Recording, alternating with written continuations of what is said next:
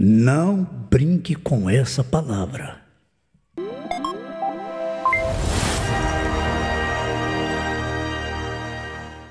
É na brincadeira que o diabo te pega. Aí você vai falar assim, ó, foi num minuto de bobeira. Ah, minuto de bobeira, meu Deus.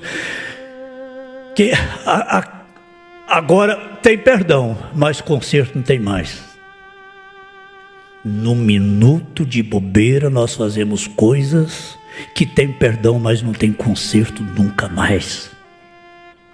No minuto de bobeira, uma mulher cede, um homem cede, atendendo às circunstâncias. Tem conserto? Não. Tem perdão? Tem, mas não tem conserto.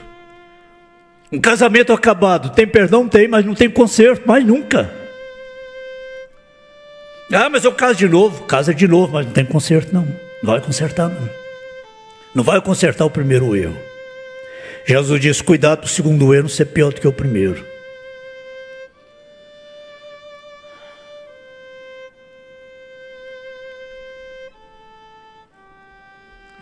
Foi num minuto de bobeira. Mas nesse minuto de bobeira, o que, é que aconteceu? A gente brincou com a palavra. Achou que é coisa pequena.